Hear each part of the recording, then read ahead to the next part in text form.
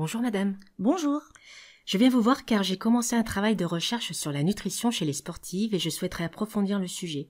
J'ai déjà consulté quelques bases de données. Vous êtes allé voir sur Sportdiscus Non, je ne connais pas. Cette base couvre tous les domaines du sport, notamment en santé publique. La recherche peut s'effectuer dans toutes les langues. Installez-vous, on va regarder ensemble. Pour faire votre recherche, je vous conseille de saisir tous les termes de votre sujet, sinon vous aurez trop de résultats. Ici, on va essayer nutrition et sport. On a 43 210 résultats. Ouh là là, ça fait beaucoup. Ne vous inquiétez pas, on va affiner.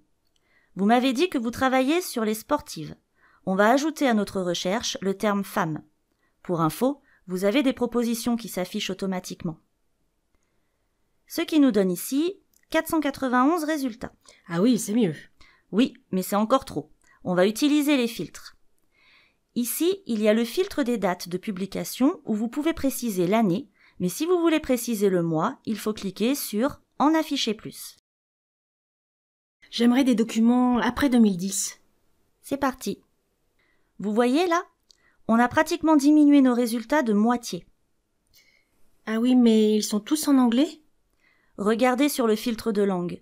Pour votre recherche, la majorité des documents est en anglais, mais il y en a quelques-uns en français. J'ai accès aux documents en entier?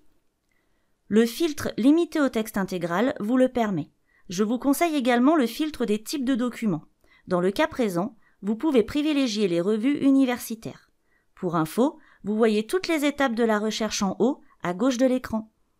Le premier résultat est de 2016, c'est le plus récent? Non, le classement est fait par la pertinence. Attention, il ne s'agit pas de la pertinence intellectuelle du document. Ici, la pertinence correspond au nombre de fois où le mot-clé apparaît dans le titre, le résumé ou le contenu du document. Si vous souhaitez voir le document le plus récent, il faut cliquer sur Date la plus récente. À partir de l'onglet Options de page, il est possible de faire apparaître les résumés des références en cliquant sur Détailler.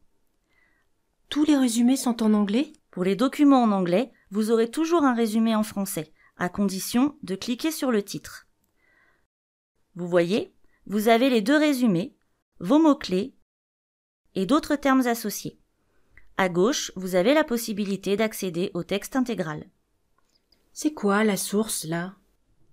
La source correspond au titre de la revue, le numéro du volume, le nombre de pages, etc. C'est plus clair pour vous? Oui, je pense, merci. Si vous avez besoin de revoir la démarche, rendez-vous sur Doc2Bib.